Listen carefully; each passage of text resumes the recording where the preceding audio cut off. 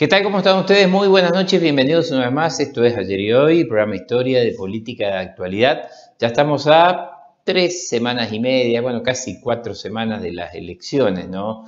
Del próximo 27 de octubre, donde los argentinos eh, vamos a estar eligiendo presidente y vice de la nación, como también diputado nacional en el caso, bueno, en todas las provincias, ¿no?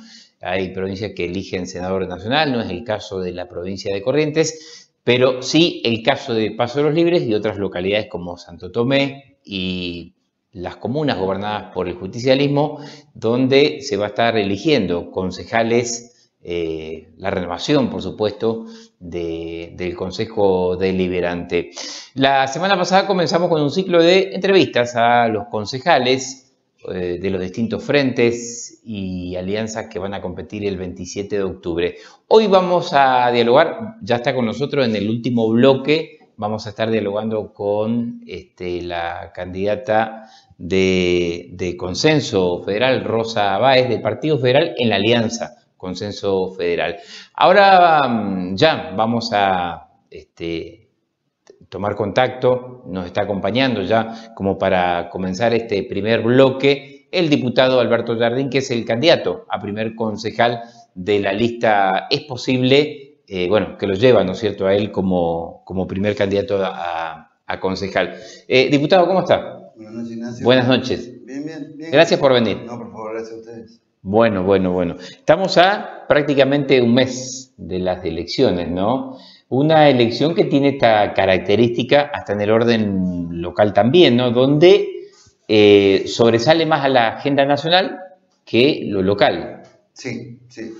No, quiere decir que no tenga importancia, pero digo, por ahí la influencia de los medios de comunicación y lo que se juega, que es nada más y nada menos que la presidencia de la nación, eh, pone justamente en el centro de la escena. Esto. No, sin duda, máxime por las circunstancias que estamos atravesando todos los argentinos, ¿no? y la importancia que tiene, que tiene justamente, como lo decía, esta elección nacional, y donde, el, por lo menos desde el espacio nuestro, aspiramos obviamente a, a, a, que sean electos presidente y vice la Fórmula Fernández Fernández, a quienes vamos a acompañar en las elecciones del 27 de octubre.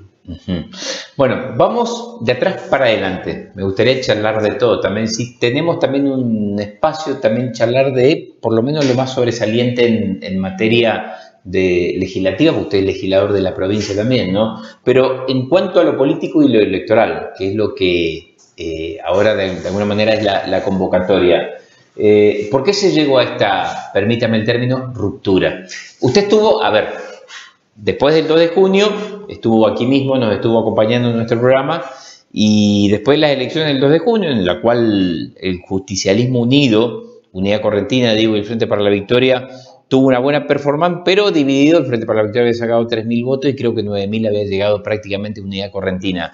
Eh, en esa oportunidad, después del 2 de junio, inmediatamente después, eh, usted consideraba en ese momento, ¿no?, que lo mejor sería para las elecciones, que ahora vamos a transitar el 27 de octubre, ir separados en el orden local.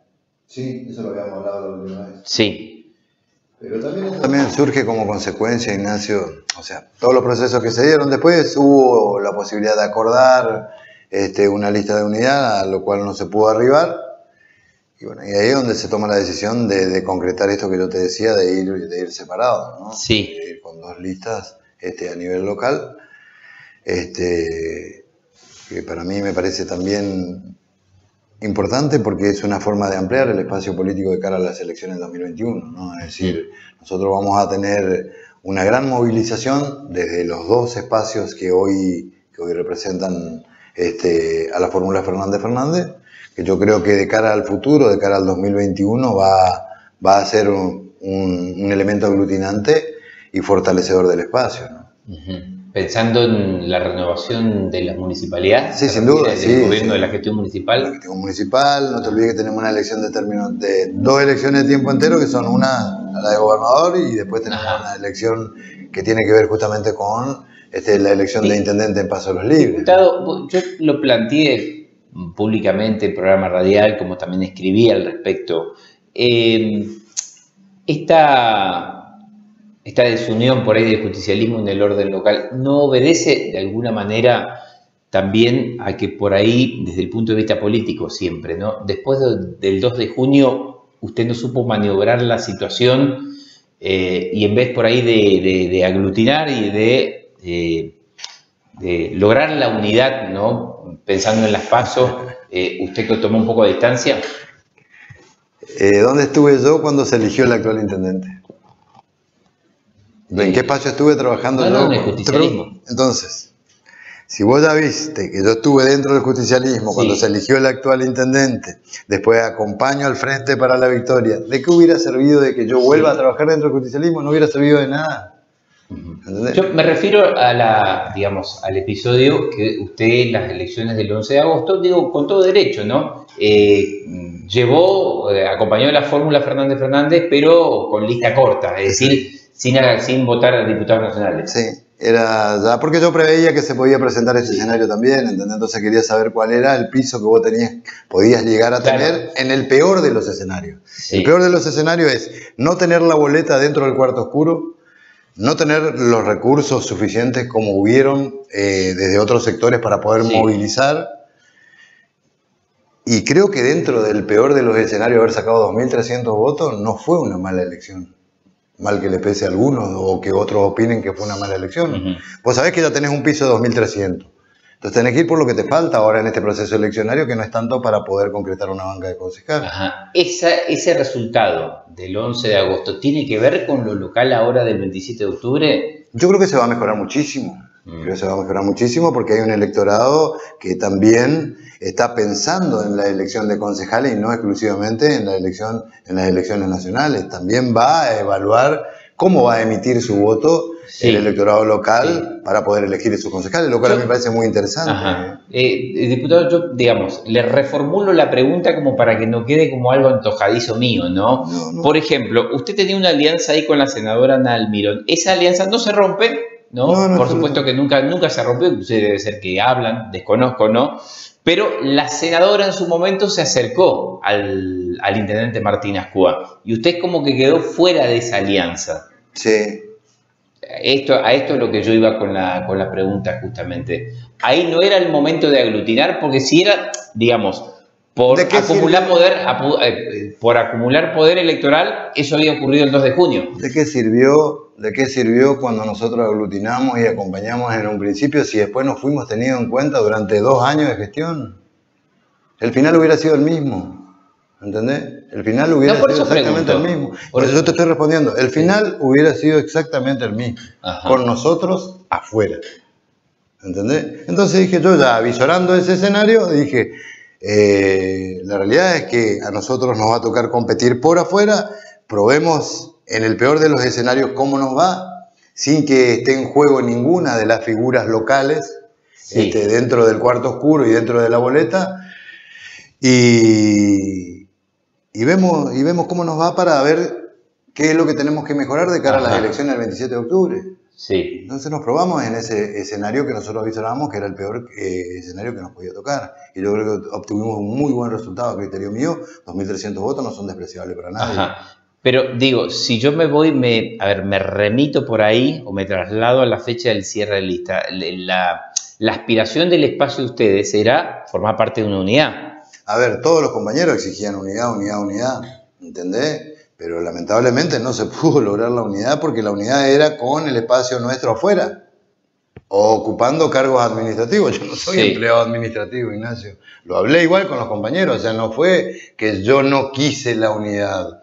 Cuando nosotros tuvimos una reunión, planteo, le digo, déjame, voy a, voy a hablar con los compañeros que responden al espacio que, me toca representar a mí, si los compañeros están de acuerdo, eh, lo, lo, decidiremos por, mayoría, ¿entendés? Como, como, como, todo tipo de decisión que lo tomamos en conjunto, los compañeros me, manifestaron en absoluto que ellos no estaban de acuerdo, que esa no era la unidad que se, que se pretendía y que se pregonaba, la unidad era con nosotros adentro, ¿entendés? Pero no ocupando cargo administrativo, y menos aún cuando hay actitudes que nosotros, eh, que nos diferencian absolutamente de la actual gestión. Bueno, quería hacerle una pregunta, porque después quiero ir para adelante también, no, no quedarme en eso, porque es un episodio y ya está. Eh, ahora bien, mi pregunta es, la diferencia con la gestión, si, si, bien es cierto que forman parte del mismo espacio político que es el peronismo, el mismo partido, movimiento nacional, eh, ¿la diferencia con la gestión es de matices o es una diferencia profunda de proyectos y miradas distintas sobre el peronismo y la gestión? Tiene que ver con el peronismo y la gestión directamente. Ajá. Nosotros por ahí, en el caso particular mío, yo entiendo que una de las banderas que nosotros enarbolamos como peronistas es, eh, y creo que es la principal bandera, es que nuestros trabajadores municipales estén bien. Y hoy yo no veo que nuestros trabajadores municipales en un 100% estén bien. Hay trabajadores municipales ganando 5 mil pesos por mes, ¿entendés? Y después criticamos a un gobierno nacional que obviamente no está haciendo para nada las cosas bien, pero y que tiene más salarios también, ¿entendés? Entonces, por ahí ya arrancamos con una pequeña diferencia o gran diferencia. Ajá. ¿Entendés? Entonces, por eso es que proponemos desde el, espacio que nos toca ocupar hoy, como primera medida, nosotros tenemos que, dentro del seno del Consejo Deliberante, tratar de reformar el Estatuto del Empleado Municipal. No es justo que un empleado municipal no, no gane hoy un salario mínimo vital y móvil. No todos lo ganan y hay unas asimetrías grandes entre determinados empleados y, este, y otros empleados que están absolutamente precarizados dentro de... ¿Eso es una propuesta suya, básicamente, digamos? Eso va a ser una propuesta mía, básicamente, ¿entendés? No es justo, no es justo. Yo no, como peronista no me puedo sentir satisfecho de que un empleado hoy gane 5 mil pesos o de que algunos empleados no lleguen a lo que hoy es el salario mínimo vital y móvil este, porque no está previsto dentro del estatuto municipal eh, esa palabra salario mínimo vital y móvil. Sí dice mínimo vital, pero no dice móvil, el estatuto del empleado municipal. También reformular los escalafones municipales para que aquellos empleados municipales que empiecen a hacer carrera pasen a planta. Nosotros no podemos perder de vista, y yo eso no le achaco a esta gestión, de que hay empleados que hace más de 10 años que están como contratados dentro de la gestión municipal, ¿entendés? Parece que ya creo que tenemos que darle un poco de seguridad jurídica también a los propios trabajadores si es que nos consideramos que somos peronistas, ¿no? Eh, vamos al presente. Eh, usted va a competir con, con la boleta Es Posible. Es posible en, este caso un, espacio también, también del, en, este caso del ex gobernador Alberto Rodríguez Sano. Usted compite en una situación de desventaja también, porque no va con, si bien es cierto que va a acompañar la fórmula Fernández Fernández, pero eh, va a acompañar con boleta separada, con boleta corta. Nosotros tenemos, yo no, no, me gusta hablar de boleta corta, yo hablamos de lista propia, pero es cierto, sí, nosotros no no, estamos incluidos dentro de la lista sábana, de la lista sábana celeste. Nosotros llevamos nuestro, nuestra propia boleta que va separada del cuerpo de la boleta de la boleta presidencial y de la boleta de los diputados nacionales, a quienes también vamos a acompañar en este, en este proceso eleccionario.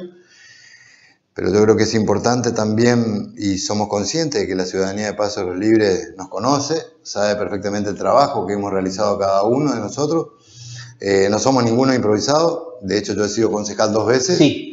O sea, eh, ahora me honraron con ocupar un cargo legislativo en la provincia de Corrientes. Creo que experiencia sobra. Creo que al Consejo Deliberante le está faltando eh, un poco de dinamismo y nosotros podemos aportarle ese dinamismo que hoy está faltando dentro del seno del Consejo Deliberante con toda humildad. Diputado, en caso que usted acceda como, como legislador local, como concejal, eh, ¿Lo pone en un lugar también de libero? Es decir, bueno, le tiene la libertad suficiente porque usted puede decir, bueno, tranquilamente al oficialismo, yo no te debo nada, yo llegué por mis méritos. Eh, o lo, coloco, lo coloca en la, en la oposición. A ver, yo soy peronista. Sí. Yo soy peronista y vengo para sumar y para tratar, así como soy crítico de determinadas situaciones de esta gestión, creo que desde la crítica también se puede construir. ¿Entendés? Y vengo a aportar mi granito de arena para tratar de que en el 2021 el Partido Justicialista retenga, eh, retenga el municipio a nivel local, este, pero obviamente que va a depender pura y exclusivamente de nosotros. Nosotros venimos a aportar nuestro granito de arena para tratar de fortalecer la gestión. Pero más allá de las críticas, las críticas también tienen que ver con el aporte que podamos hacer. Y ese aporte que nosotros tenemos que hacer tiene que ser en beneficio de la gestión. Eso es lo que se tiene que interpretar. Y no como que nosotros vamos a entrar a ser, o en el caso particular mío, voy a entrar a ser un opositor acérrimo a la gestión, porque no lo haría nunca. Eh, o sea, la oposición por la oposición misma. No, en absoluto. Sí buscaría forzar el diálogo para... Pero a lo, que, a lo que me refiero es que eh, entraría, en este caso, mm, sin ataduras. Sí, sí, sí, sí, obviamente, y justamente eso es lo que me va a dar la libertad de poder este, dialogar y tratar de hacer entender las cosas que a criterio del espacio político nuestro hay que corregir para tratar de fortalecer esta gestión de cara al 2021. ¿Entendés? Pero obviamente yo no, el hecho de, que entre sin ningún tipo de, compromiso eh, no me quita a mí el mote de peronista. Y de, sí, se entiende. tratar de salvaguardar una gestión que llegó gracias al esfuerzo que han hecho muchos compañeros hace mucho tiempo y dentro de los cuales yo me incluyo también, ¿entendés? Porque no fue producto de la casualidad. Diputado, siempre en las discusiones en el peronismo fundamentalmente subyace la idea del 2021 en términos electorales, ¿no? Eh, la madre de las batallas es el 2021. Más que, yo creo ahora. Que, yo creo que eh, el 2000, ahora la elección del 27 de octubre a nivel local es un trampolín de cara a la a lo que va a ser la elección del 2021, ¿entendés? Yo creo que tenemos que, otra cosa que yo no comparto, eh, que se haya achicado la base de segmentación electoral, ¿entendés? Me parece que nosotros tenemos que ampliar la base de segmentación electoral de cara a las elecciones del 2021, porque el Partido Justicialista siempre se caracterizó por ser frentista. Ahora, eh, ¿Cómo se segmenta? Usted dice por los partidos que, dieron el portazo de, en la alianza. Sí, Ahora, a usted le tocó tener la lapicera, no lo estoy responsabilizando, pero sabe que no es fácil un cierre de lista. Inclusive uno de, las, de los actores ¿no? que pegó el portazo en, este cierre es el Partido Comunista también. Pero que yo tenía un lápiz negro con una mina que se te quebraba. No tenía una virome. Virome la tenía el actual intendente para poder cerrar lista. Yo se lo dije a él personalmente, o sea, no, es algo que yo estoy... ¿Usted dice por el gobierno? Exacto. Mm. ¿Sabes lo, fácil que es poder cerrar una lista? Vos haciendo gestión de gobierno. A nosotros nos tocó con el doctor Fontana y con otros compañeros cerrar lista sin tener la gestión de gobierno. Y era darle un beso a los compañeros y a los compañeros, a los aliados que quedaban enojados y decirle, por favor, acompáñennos, que, que vamos a trabajar de cara al futuro. ¿Entendés? Entonces vos, eh, tenía una plusvalía él en cuanto al cierre de lista. Y eso yo se lo dije a él personalmente. Sí. Eh, siempre depende, digo, sin entrar en en decir quién tiene la razón en estas discusiones, ¿no? pero, depende también del grado de intransigencia que exista en una, en una, en una negociación. Yo me acuerdo, por ejemplo, el caso de Eugenia Gracevich, ¿no? Pero bueno, lo voy a comentar. En su momento no estuve de acuerdo con que Pichón Balbastro era en su gestión cuando estaba al frente del partido. Eh, ocupa un lugar en la, en la, lista del Frente para la Victoria, entonces Frente para la Victoria. No, no, no, cuando tomamos la decisión en la Casa del Pueblo de que la lista del PJ iba a ser una lista pura. Así se dio. Ajá. ¿Entendés? Donde encabezaba, encabezaba el doctor Jiménez, creo que encabezaba el doctor Jiménez, después le acompañaba Sara y no me acuerdo ahora ya, pero nosotros habíamos tomado la decisión. Y Celeste. Y Celeste. Sí. Eran los tres de la lista. No, 2013 era. No, no, no, no, no, cuando nosotros tomamos la decisión de ir solo, que después el partido de la victoria va por su lado, nosotros ingresa Café, ingresa Sara y entra Beto. Sí. Y Celeste queda, queda afuera. Sí. ¿Entendés? Pero habíamos tomado la decisión de ir solo en ese, en ese proceso eleccionario. Está bien, está bien. Eh, vamos a la cuestión, a ver, eh, ¿quién nos acompaña en la lista?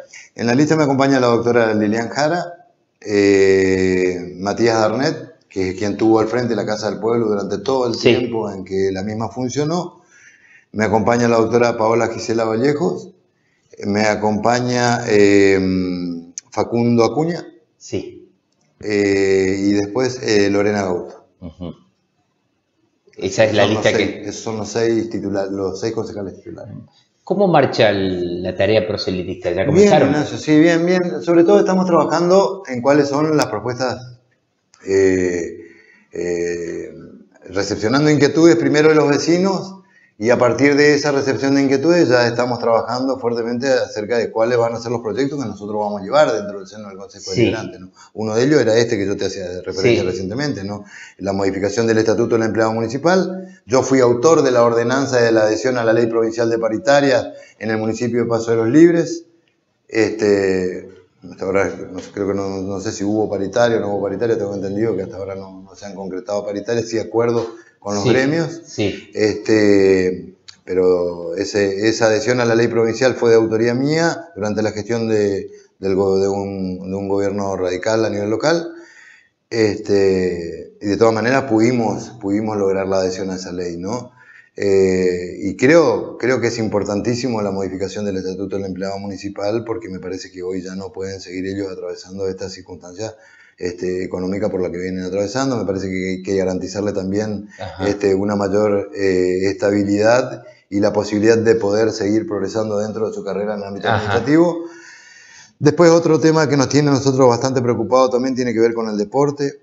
Eh, con el deporte de alto rendimiento, me refiero. ¿no? Nosotros vemos con mucha preocupación cómo hay deportistas que practican deportes individuales y colectivos y cuando llega el momento en que ellos tienen que competir en esas competencias de alto rendimiento, ya sea a nivel nacional o internacional, eh, hacen un esfuerzo enorme para poder hacerlo y muchas veces tienen que recurrir a nosotros para que los ayudemos o a la ciudadanía en general o hacen beneficios para, poder, para poder participar. me parece que ese tipo de situaciones no pueden suceder, que tenemos que ver la forma en cómo encaramos para que estos jóvenes tengan hoy mayor respaldo para poder participar en esos torneos de alta competencia. Eso tiene que ver con la cuestión de los recursos también. Obviamente. De la escasez de recursos. Obviamente obviamente, sí, tiene mucho que ver con eso, pero también tiene que ver con gestión, ¿entendés? Vos también me podés decir, la participación en un carnaval tiene que ver con los recursos, sí, tiene que ver con los recursos, sí, sí, sí, pero tenés que mirar, sin tratar de ejercer una fuerte presión tributaria sobre los contribuyentes hoy, ¿cómo haces para generar esos recursos? Ajá. ¿Entendés? ¿Cómo haces para generar esos recursos? Y yo le pregunto, ¿y cómo se hace? Y Ignacio, ¿cuántas motos tenés ahí tiradas dentro de tres galpones? Te pregunto, ¿y hace cuánto tiempo? Ah, yo me acuerdo antes de irme al Consejo Deliberante, presenté un proyecto de ordenanza que ahora tuve que presentarlo como proyecto de ley en la Cámara de Diputados para que esas motos que están, eh, están hace no sé cuánto tiempo dentro de, esos galpones, que el gobierno municipal está solventando esos galpones, se saquen a remate. Ahí tenés una forma de poder generar recursos. Ahí tenés una manera de poder generar recursos. Y ahí hay tantas maneras de poder generar recursos sin, pues, sin generar presión tributaria sobre los contribuyentes. Bueno, eso le quería preguntar, porque en tiempos de crisis, principalmente... ¿Tienes que agudizar el ingenio? Tienes que agudizar el ingenio. Lo, primero, o una de las cosas primero que uno hace... Otra cosa, otra cosa. El mayor problema que tienen nuestros deportistas hoy, ¿sabe cuál es? Ah. El medio de transporte. Yo te pregunto vos, ¿cuántos colectivos hay secuestrados ahí en Gendarmería hoy? ¿Cuántos colectivos hay secuestrados en Gendarmería? No. Bueno, que hayan cinco.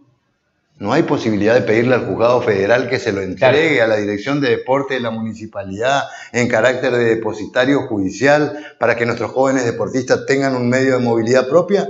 Hay por eso te digo, o sea, no todo es plata. Sí. No todo es plata. Y también, si algo es plata, tenés que agudizar el ingenio para ver de dónde la recaudás sin ejercer una presión tributaria fuerte con los contribuyentes. No, no, no, no, no. Por, eso yo lo que le decía era lo siguiente. En tiempos de crisis, la gente deja pagar las tasas municipales, Obviamente, impuestos. Sí, sí, sí, prefiere comer. Y uno entiende, uno entiende esa situación, ¿entendés? Y nos duele a todos los argentinos.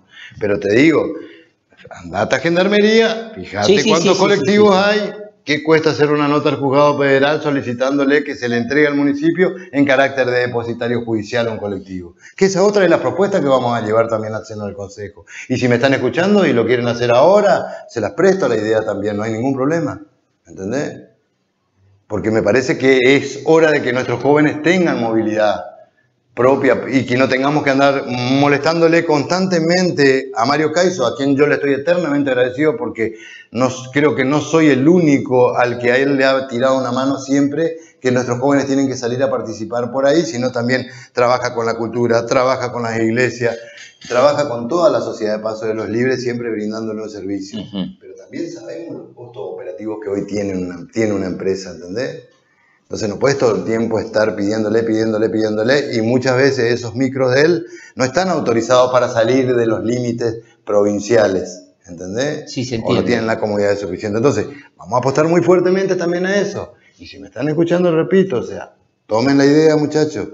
Porque si no la toman, cuando nosotros lleguemos al Consejo, la vamos a plasmar en un proyecto de comunicación para que el Ejecutivo empiece las gestiones pertinentes por ante el Juzgado Federal, de la, por ante el juzgado federal que hay en Paso de los Libres a los fines de que se le solicitarle se le entregue un vehículo de transporte de pasajeros para la dirección de deporte a los fines de que nuestros deportistas tengan un medio para poder trasladarse a las distintas competencias. Eh, Diputado, eh, ¿cómo, eh, ¿cuánto incide, creo que bastante, ¿no? pero quiero preguntárselo a usted, el escenario nacional también en la elección? ¿no? Donde por ahí la agenda local y los candidatos locales quedan como no sé si decir en segundo plano, pero queda muy tapado con la cuestión nacional. No, mucho, mucho, incide mucho, pero está en nosotros también saber hacer llegar nuestro mensaje. A ver, esto que te estoy planteando, me parece que es una forma de poder llegar al electorado y que el electorado diga, oh, mirá, se acordó de nosotros, los deportistas.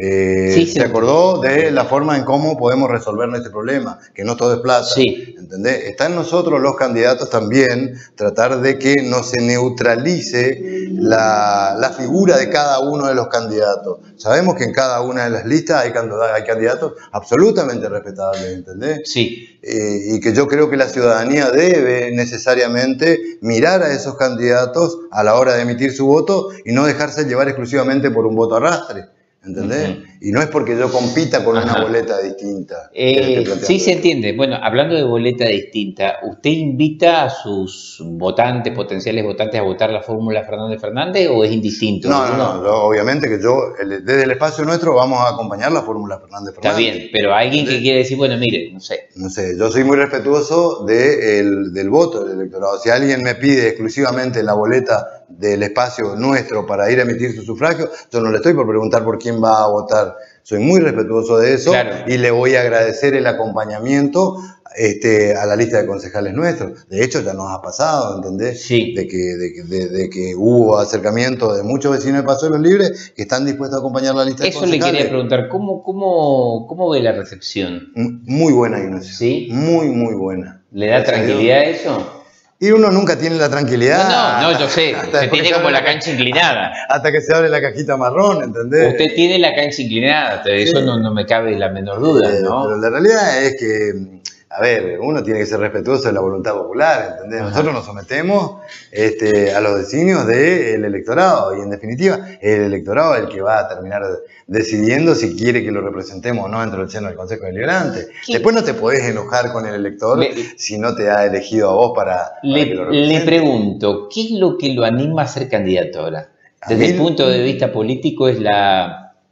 La tercera vez que voy a que va a ser concejal, claro, pero, pero usted, digo, más allá, podría ser candidato a diputado, pero ¿qué, qué es la, la, la, ¿cómo decirlo? Este, ¿La supervivencia política por ahí? No, no, no, no, porque yo ya me, había planteado la posibilidad de... De, de dar, de dar paso a costado. Me había planteado la posibilidad, pero cuando veo tantos jóvenes con tantas ganas y que no son tenidos en cuenta, digo, la pucha, yo no me puedo ir de la política sin por lo menos intentar abrir la puerta a estos jóvenes y guiarlo con la experiencia, eh, la poca o mucha experiencia que yo he adquirido durante estos años. Sí, no cabe duda. En el marco de la política. Entonces, eso es lo que me anima, no el cargo en sí, ¿entendés? Pues te juro, eh, por lo más sagrado que tengo, ¿entendés? Que estuve a punto de decir, para mí ya terminó, ya basta, estoy cansado, ya estoy al borde de los 51, vengo, fui concejal con 23 años. Sí. ¿Entendés? Uno de los concejales más jóvenes que, que hubo en Paso de los Libres. No, 27 tenía. No, 23 años tenía. En el 97 fue. Yo cumplía 24 años cuando asumí como. ¿Pero en el 97 no fue concejal? No, antes fue. ¿No? Antes. 24, con 24 años yo asumí como concejal. Jovencito, jovencito. Eh, bueno, ¿cómo, ¿cómo, están planteando la campaña? Bueno, la campaña básicamente la vamos a plantear con propuestas. Sí. y las propuestas van a surgir siempre de las, inquietudes, de las inquietudes de los vecinos. Casualmente este fin de semana estuvimos trabajando eh, recepcionando inquietudes de los vecinos de, de unas familias del barrio Caguazú, a quienes los orientamos cómo tenían que hacer para poder resolver su problemática hoy. Eh, ellos nos planteaban que como consecuencia de la construcción de la avenida Jorge Newbery estaban este, sufriendo el ingreso de vehículos de gran porte por las calles interiores del barrio Caguazú, lo cual le trae aparejado ruptura de, ruptura de las alcantarillas, de los caños mismos de ingreso, que la propia vibración que provocan esos medios de transporte, porque las casas no están preparadas para eso, podían empezar a provocar la rajadura. Entonces le redacté la nota, los vecinos se encargaron de juntar firmas y hoy la ingresaron al Consejo Deliberante y mañana se le supongo que los concejales... Quiero, quiero preguntarle, ¿no? Eh, el tratamiento de eso. E, eventualmente, eventualmente, si usted es concejal, eh, ¿qué condiciones políticas se tienen que dar como para conformar un, bloque oficialista? y dialogar, tenemos que dialogar mucho, trazarnos objetivos en común, ¿entendés? Sobre todo tratar de, de, dialogar sobre qué es lo que nos está faltando para llegar fortalecido de cara al 2021. Yo creo que en función del diálogo... Porque imaginemos por un instante, usted entra concejal, quedaría 6 a 6 y ahí el que juega la niña bonita, permítame el término, ¿no? Sería usted. Sí, el número 13. a ver, me parece que... Con lo cual desempataría la situación. Pero a ver, eh, ¿cuál es el, ideal de, el ideal de la democracia? Llegar a un consenso con los 13, que los 13 sean partícipes, los 13 concejales sean partícipes de una solución concreta que existe dentro del seno de la sociedad, ¿entendés? A, mí me ha tocado como diputado ahora, que somos nueve, conseguir el acompañamiento de los 30. Claro. De la Cámara de Diputados, ¿entendés? y eso me parece que es la mayor satisfacción. es decir, hacerle entender a los otros 21 que lo que vos estás planteando no es un proyecto antojadito tuyo que lo hiciste entre cuatro Salir de la lógica oficialismo, oficialismo, oposición. Exacto, que refleja, que refleja la necesidad de un determinado sector de la sociedad. Yo creo que no es muy complejo hacerle entender si la problemática existe, que la solución la tenemos que llevar entre todos. Y en esto yo, ¿sabe a quién rescato? Que fue alguien que me enseñó cuando yo fui con concejal por primera vez, Ángel Saldaña. Ángel Saldaña... ¿El autonomismo? Sí, eh, me acuerdo, yo, habíamos elaborado un proyecto que tenía que ver con la licitación de transporte público de pasajeros con el concejal Carlitos Carbonel. Nos cortamos solo los dos. Sí, sí, sí. sí, Hicimos un proyecto, calculábamos cuántas, veces, cuántas vueltas daba un colectivo, cuántas personas transportaba para hacer la redistribución de las distintas líneas dentro del centro de la ciudad. Cuando presentamos el proyecto, me llama Ángel y me dice, él me decía, Uri, vení Uri, el día que vos quieras que salga un proyecto, hacenos partícipe a los 13. Claro. Porque nosotros no estamos pintados acá. Claro. ¿Y cuánta razón tenía? ¿Entendés? Claro. fue mi primera experiencia de, dentro del trabajo de un cuerpo. Claro, eso es cuerpo. Eso es cuerpo. Eso es cuerpo. ¿Entendés? Entonces, ¿cuál es la mayor satisfacción respondiéndote a lo que vos me decías? ¿Qué postura voy a adoptar yo? A ver, si vos le haces entender a los otros 12 que lo que estás, sobre lo que se está trabajando, y que cada uno de esos dos se puede aportar encima su granito de arena para tratar de fortalecer un proyecto, eso no es el producto del trabajo de un solo concejal, ese es el producto del trabajo de un cuerpo, de un cuerpo que es el que tiene que salir fortalecido por sobre las personas el cuerpo Consejo Deliberante. Para mí está primero que cualquiera de los miembros que integran ese cuerpo. Diputado, dos cosas, en realidad me gustaría ser más extenso con la cuestión de la legislatura, pero no me va a dar el tiempo porque me quedan tres preguntitas, pero dos preguntas en una. Primero, ¿qué le dejó la legislatura provincial, la experiencia? Eh, y segundo, si se siente satisfecho de haber rendido lo suficiente. Sí, o sea, lo que me deja, me deja una experiencia enorme, una experiencia enorme porque me ha tocado trabajar con, legisladores este, muy buenos eh, en distintos aspectos, ¿no? llámese desde el punto de vista de la economía, Martín Nuevo, por citarte un nombre, compañero, quien tiene un amplio conocimiento de lo que es en materia económica, Josecito Mortola en Derecho Laboral, eh, el mismo Tito López de la bancada radical, eh, Pepe Fernández Afur, un gran amigo, sí. el propio presidente de la Cámara de Diputados, quien, de quien traté de absorber eh, la mayor cantidad de conocimiento posible para, observándolo cómo se maneja un cuerpo. El presidente del bloque es Acevedo, ¿no? el, presidente del cuerpo, ah, está bien. Pedro Casani. Mm. ¿Entendés? A quien siempre observé con mucha atención porque me interesaba eh, estudiarlo en cuanto al manejo del cuerpo y lo que yo veía es que él siempre priorizaba la institución Cámara de Diputados por sobre las personas. Los bloques. Sí, ¿entendés? O sea, me deja eh, esa experiencia hermosa de haber trabajado con gente muy capacitada, el propio diputado Chaín también, este, otra persona capaz, después algunos diputados que, que, se han ido en la gestión en el mandato anterior, también que, que me tocó compartir dos años con ellos y, una gran cantidad de amigos, porque la verdad que coseché 29 amigos ahí dentro de la Cámara. Está bien. Mm. Y eh, en cuanto a, la tarea que usted llevó a cabo, ¿le quedó algo pendiente? Sí, quedaron, quedaron. Me quedó las ganas de que se pueda concretar la escuela, la escuela agropecuaria para Paso de los Libres, que es un proyecto que quedó adentro. la recuperación. Que es la desventaja de ser oposición, que a veces no tiene. Sí, pero yo creo que en algún momento se va a materializar. Fíjate vos que yo presento el proyecto de ley de, la, de proyecto de ley anti-grooming. Sí. Y hoy yo veo con mucha satisfacción que el presidente de la Cámara de Diputados lo tomó como propio. Y anda realizando, Ah, anda realizando debates en varios establecimientos educacionales, inclusive ha traído gente altamente capacitada de Buenos Aires. Y la verdad que me, quedé, me encantó, ¿entendés? Sí, se entiende. Sin embargo, un proyecto mío. Y, qué lindo que es cuando alguien toma un proyecto para mejorarlo y, el cuerpo lo hace, lo hace propio. A eso era lo que yo te hacía Sí, sí, sí, sí, sí, se, se, entiende. Diputado, ¿qué cosas se ponen en juego en esta elección nacional? Usted siempre hizo referencia a esta cuestión. Mucho, mucho, mucho por lo que estamos atravesando hoy los argentinos. ¿no? Indudablemente hoy, con los índices de pobreza y que, que, han salido a la luz de nuevo a través del INDEX, este, eh, nos jugamos mucho, ¿no? Sabemos que también vamos a tener dos años muy difíciles por delante, porque el próximo presidente que asuma no va a hacer magia, eh, va a tener que trabajar mucho durante los dos próximos años. ¿Le tiene fe?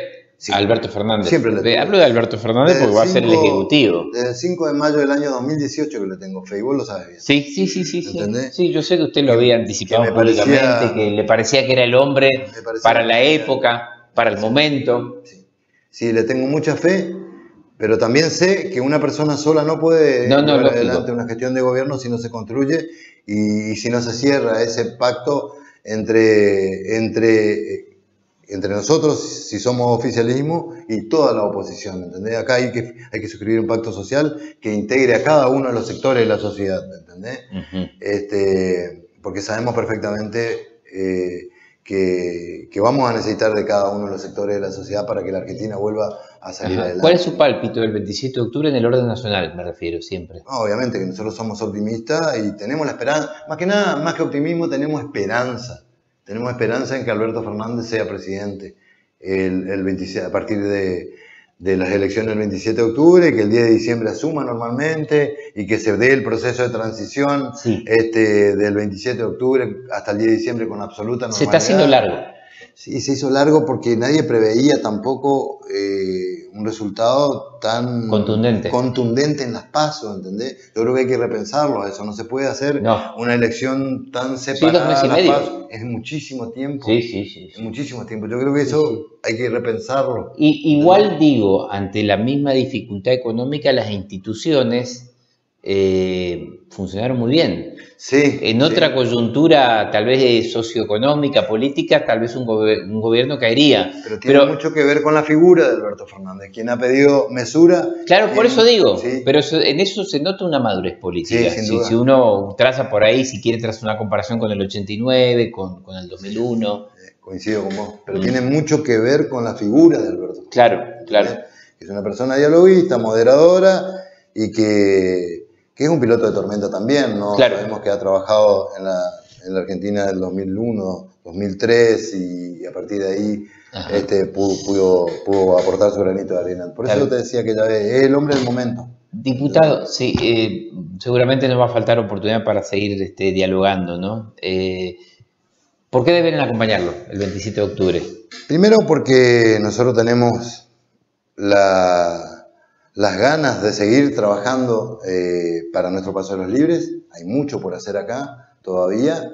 Este, segundo, porque consideramos que, que, somos una alternativa válida eh, en función de la, de la experiencia adquirida, eh, por lo que me ha tocado vivir a mí particularmente, y en función de lo que le puedo transmitir a los jóvenes que nos van a acompañar, que, que son muchos y que se vienen sumando día a día y vos lo vas a poder ver cuando hagamos una reunión con todos los jóvenes dentro de lo que es este, nuestra casa partidaria. ¿Van a hacer? Sí, lo vamos a hacer porque vamos, necesitamos, necesitamos empezar ya eh, este, a que ellos sean partícipes de cada uno de los actos. ¿Tienen pensado un lanzamiento entre casas? No, no, no, nada. No, nada, directamente el trabajo que vamos a ir realizando y la militancia y el diálogo con ellos, pero no, actos no.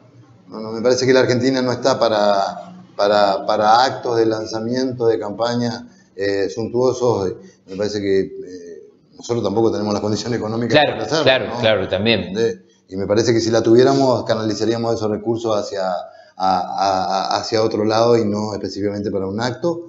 Me parece que el mejor acto que vos podés llegar a hacer es el diálogo cara a cara con el vecino y recepcionando sus inquietudes y plasmando eso en, soluciones. ¿no? este, otro tema que a mí me tiene preocupado, y yo te lo decía hoy a la tarde cuando, cuando dialogábamos, es la falta de implementación por parte de los brasileros, que eso ya le planteé en el consulado argentino en su momento cuando se hizo una reunión binacional, de la tarjeta de tráfico vecinal fronterizo. ¿Entendés? Porque acá hay una interpretación de que la tarjeta de tráfico vecinal fronterizo es para pasar la aduana y se terminó. No, incluye un montón de derechos y de obligaciones para la persona portadora. Y los brasileros hasta el día de hoy se han negado a emitir la tarjeta de tráfico vecinal fronterizo de ellos en la ciudad de Uruguayana. Porque eso también va a hacer con que nosotros podamos exigir la flexibilización entre aduana y receta federal para que no haya tantas trabas, para que nuestro comercio también en Paso de los Libres comience a crecer, Ignacio. Me parece que eso es otro punto importante y que como legisladores locales no podemos perder de vista de que nuestro comercio no está bien, tenemos que ver también la posibilidad de que si somos gobierno a nivel nacional, las zonas fronterizas tengan tarifas diferenciadas para algunos tipos de actividades, porque eso le va a permitir crecer a nuestros comerciantes, dado a que si perdimos lo que en su momento, y Rosa no me va a dejar mentir, porque estuvo muy ligada a eso, este, perdimos la mayor industria que teníamos en Paso de los Libres, que eran los estudios de despachante de aduana. Mm. ¿Por qué? Por culpa del MIGRETA, por culpa del sistema María, perdimos la mayor industria sin chimenea que teníamos en Libre. ¿Entendés? Sí. Entonces, nos quedó el comercio. Hoy del comercio ya nos está quedando muy poco porque nuestros comerciantes están muy apremiados. Es muy triste. La presión tributaria que tienen, el costo de los salarios, ¿entendés? El gasto que tienen en, salarios, la energía, los alquileres que ellos pagan a veces son excesivamente onerosos. Entonces tienen un, costo La pérdida del poder de, consumo de funcionamiento muy alto, ¿entendés? Que viene encima agravado por la pérdida de consumo, ¿entendés? Sí. Entonces, me parece que también no podemos sacarle de, de, eje a esa problemática que hoy tenemos. Está bien. Pero ¿qué pasa? Tenemos enfrente una ciudad que con las asimetrías económicas siempre nos viene, nos viene ganando de mano, nos viene ganando de mano, nos viene ganando de mano. Bueno, a ver, si somos gobierno a nivel nacional y tenemos un gobierno que es de nuestro propio sector, hagamos pues las gestiones para que cada uno de los de, la, de las ciudades fronterizas tengan tarifas diferenciadas a nivel comercial para que nuestro comercio, nuestro comercio se torne competitivo y podamos contrarrestar esas diferencias eh, que, existen en materia... Las asimetrías. Las asimetrías cambiarias, básicamente, ¿no? Sí. Así que bueno. Gracias, diputado. Vamos a seguir dialogando. ¿eh? Muchas gracias. Un minuto, un minuto y medio y ya dialogamos con la eh, siguiente candidata a concejal. Estaba por decir a diputada, pero una candidata a concejal. Este, Rosa Báez de Consenso Federal. Bien, seguimos aquí en ayer y hoy. Vamos a dialogar ahora, o el turno es de Rosa Báez, que es la candidata a concejal en primer término de Consenso Federal. Eh, que es la alianza en la cual forma parte, está Libres del Sur y el partido al cual ella pertenece, que es el Partido Federal. Una alianza que está el Partido Socialista, si mal no recuerdo, ¿no? Libre del Sur y el Partido Federal. Rosa Báez, ¿cómo estás? Tanto tiempo que no hablamos de política. Sí, de verdad, ¿no? Hace un ¿Eh? tiempo, hace un De carnaval no, nada más. Estamos en carnaval. Bueno, siempre, también. Consenso Federal es una alianza, bien dije, Patria Libre, Partido Socialista, no me acuerdo si es popular. Pero particularmente acá en Paso de los Libres es una lista eh, pura Partido Federal. Del Partido Federal. Sí, sí, sí. este, fue lo que se consensuó en esta, en esta alianza que, que hicimos este, y, bueno, de ir este, con una lista pura federal acá en Paso los Libres. Eh, ¿Qué te llevó a ser candidata? Y mira, vos sabés que yo Porque siempre... se habla de veto, ¿no? Pero vos ya habías sido, ¿no? Sí, yo ya había sido y además vos sabés que no solo me gusta, sino la practico. A mí la, eh, yo no consigo decir no soy política, yo soy política, a mí me gusta y, es de, y es de vocación, me gusta. Sí, sí, sí, de me gusta el servicio. Sí, de, tenés, digamos, eh, dos ventajas, o una, ¿no? sería, sos de base eh, y, con mucho contacto con la gente a través de los talleres. Y sí, eso me llevó, digamos, a, posesionarme, ¿no? Dentro, más que nada dentro de, del espacio, la parte del taller, pero como militancia dentro del Partido Federal llevo 25 años más o menos. 25 años. 25 años dentro del espacio. sí, sí. ¿Y cuáles fueron las circunstancias en las cuales vos llegas de candidata? Porque ah. si, se había hablado en su momento, era una especulación periodística, ¿no? Que podía ser Beto el candidato, pero Beto dice no. Sí. Estaba entre Hugo Campo o vos que encabece la lista. Sí. Y yo creo que pasó, fue consensuado, Ignacio, la verdad que, que nació dentro del, del grupo de, de, trabajo, yo contenta, por supuesto, porque fui elegida como la persona eh, capaz de representar al partido este, en esta instancia, ¿no es cierto? Después de, venir Beto, dos candidaturas que 2013 y 2015, no, perdón, 15 y 17. Sí. Este, y bueno, así que me animé, creo que siempre este, me preparo, digamos, estoy, estoy en vigencia, estoy trabajando y como vos bien decías, estar en contacto con la gente es como que por ahí me anima un poco más. No, no, lógico que sí. y ha sido en el año 2013. candidata. Yo me acuerdo que quedaste ahí en la puerta. Sí, sí, faltó muy poquito. En, otra, en otras circunstancias. Sí, sí. Me acuerdo. Este, Ustedes van con la baña, ¿no? Con la baña Urtubey. A la baña Urtubey. Este, ese es nuestro candidato a presidente en esta elección de consenso federal. Y bueno, en ese año eh, Además, quería comentarte que viste que yo acompañé a Beto en el, en el bloque del partido 2013-2015, 2012. 11 a 15. 11 a 15, 11 a 15. 11 a 15. Así que es como que le sumé un poco de, eh, de, de, saber lo que es la parte legislativa, por ahí que, que no es decir, bueno, sí, soy concejal, bueno, bárbaro, pero eh, otra es la parte de, legislar, de saber cómo llevar la parte legislativa. Y bueno, siendo secretaria de bloque, este, aprendí esa, esa parte, digamos, de, la legislatura. local. local la legislatura local. Es cierto lo que decís, es decir, no es ninguna ciencia, pero uno tiene que tener una base, un conocimiento base también. Y yo creo que más que base uno debe prepararse, Ignacio. Claro. ¿Viste? Tener el mínimo, al menos el mínimo de conocimiento, porque estás delante de, primero, si, si lográs ser, imagínate, electa, ¿no vos vas a representar a un sector importante, ¿no es cierto? Así que me parece que eh, es importante este, prepararse para... para eh, no quiere decir que lo improvisado por ahí salga bien, porque está, viste, pero es mejor prepararse, al menos así pienso. Eh, y lo que pasa es que en estas cosas uno no puede estar improvisado, porque se trata de la administración de los recursos públicos, o del manejo de la cosa pública. Una de las cuestiones más que importante que, que lleva adelante un concejal, ¿no es cierto? Velar. Ahora, eh, si vos, vos trabajaste, por supuesto que me, uno, yo, lo sé esto, ¿no? En el Consejo Liberante me consta. Sabes bien que la tarea del concejal en cuanto a lo ejecutivo es limitada. Prácticamente eh, lo que puede hacer más que nada es la tarea de contralor, ¿no? Hacia, la, hacia el ejecutivo.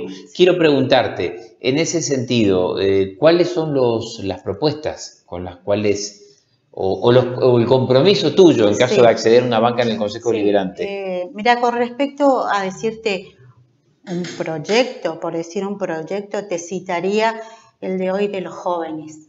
¿Por qué te digo los jóvenes? Porque yo veo el desinterés.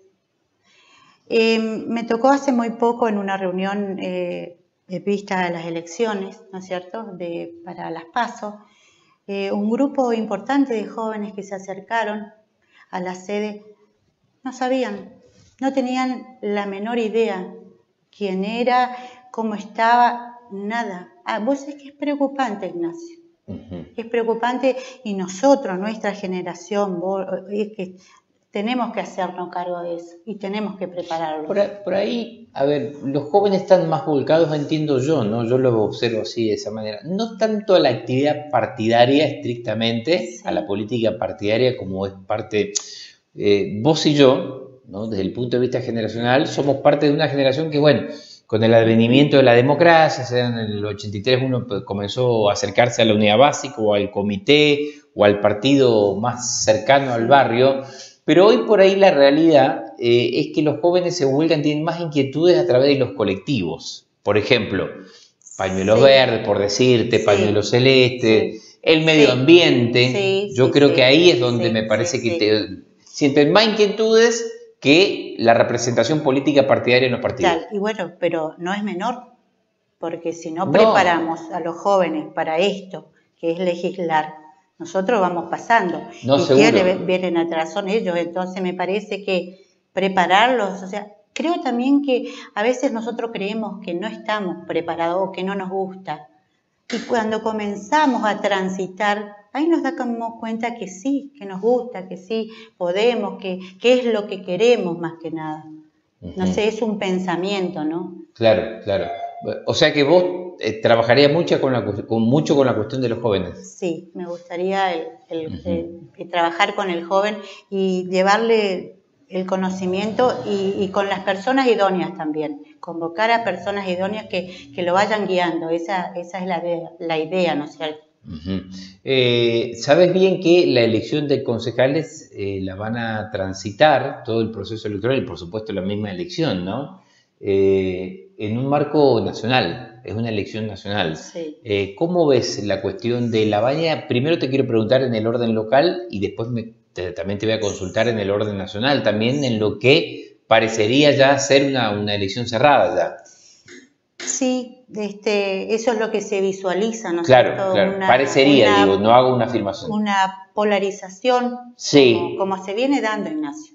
Porque se viene eh, dando eh, hace un tiempo estas polarizaciones de, presidente, mismo a veces también en lo local, para intendente, oíste, es como que el que no está dentro del marco es como que queda descolocado. Sí. ¿No es cierto? Pasó la última vez así en el 2017. pasó y pasó anteriormente también. Entonces, eh, a nosotros nos pasa esto ahora, estamos en la senda de, romper con esa polarización, de decir que, hay, hay, otra alternativa, que, somos una nueva alternativa con nuestro este candidato a presidente que, que ha demostrado además la capacidad, que es el doctor Labaña.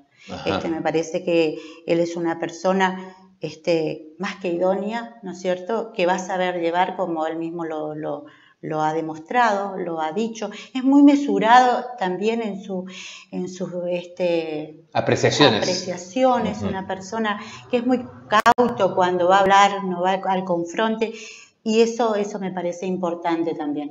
Y bueno, así que ahí estamos, en esa senda de, romper eso y de que, es posible. Está bien. Eh, Rosa, y en el orden local, ¿cómo, ¿cómo visualizan y cuál es la percepción que tienen de la baña?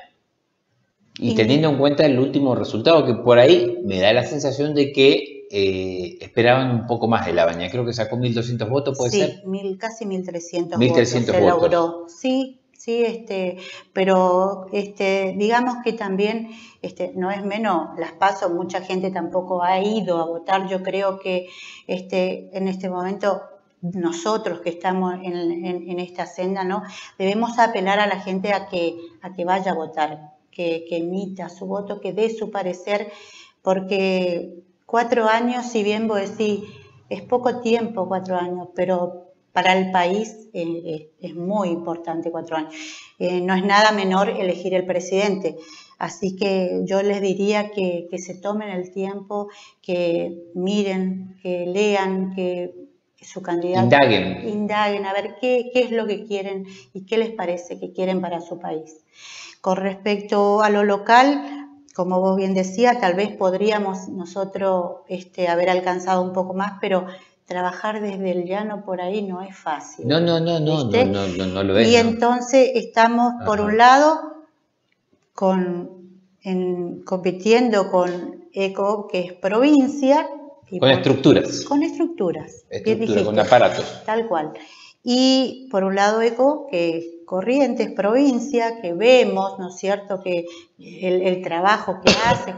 Y por otro lado, eh, municipio, que, ¿no es cierto?, el frente de todos. Vimos, sí, este frente sí, la, pregunta eh, iba dirigida con respecto a las expectativas de la baña, porque yo recuerdo, por ejemplo, Sergio Massa, que era como la tercera vía en el 2015, acá tuvo muy bien.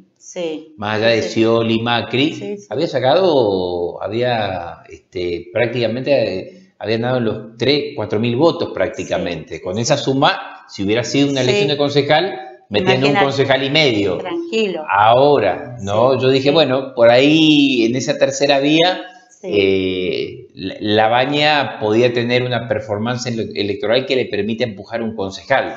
Hoy están en la mitad de los votos que necesitan para, Estamos en la mitad y tenemos que, trabajar para lograr la otra mitad que nos falta, pero este, creo que, creo que lo, podemos lograr, Ignacio. Creo que tenemos buenas expectativas. Ahora es la que realmente se juega, ¿no es cierto? Por ahí voy a decir, bueno, las paso, no tengo, sí tengo la obligación de ir a votar. Y bueno, y en base a eso nosotros tenemos nuestras expectativas. El trabajo y bueno, el trabajo es el que el común de la gente conoce, que nos conoce, la vigencia.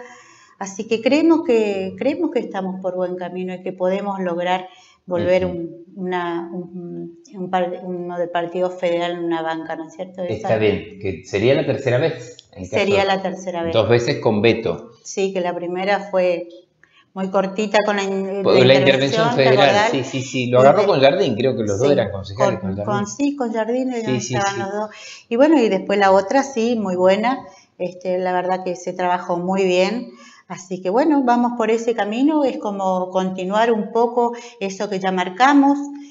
Y bueno, de mi parte es estar al, al, al lado del vecino, porque yo creo que mis mejores proyectos los voy a lograr a través de ellos. Está ¿no bien. es cierto? Con el vecino. ¿Cómo lo hago? Este, siempre en, en contacto con, con la gente, desde Ujú. mi taller, desde hace 10 años que quería recordarte que estamos hace 10 años ya con el taller. Está bien. Eh, ¿Tienen alguna actividad del taller ahora? Sí, tenemos ya, nosotros este año estamos medio que culminando ya en octubre, un mes más y estamos culminando este año y tenemos nuestra expo anual, ¿sí? ¿Será cuándo?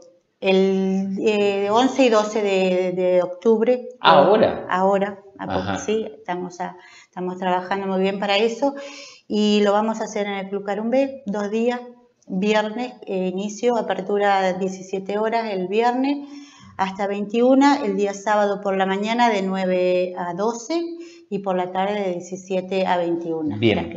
Eh, Rosa, eh, bueno, eh, eh, 11 y 12 me dijiste. 11 y 12. El 11 y 12 11 en el el, en el viernes y Círculo sábado. Círculo Bueno, por último, ¿cómo, ¿cómo están encarando la campaña? ¿De qué manera?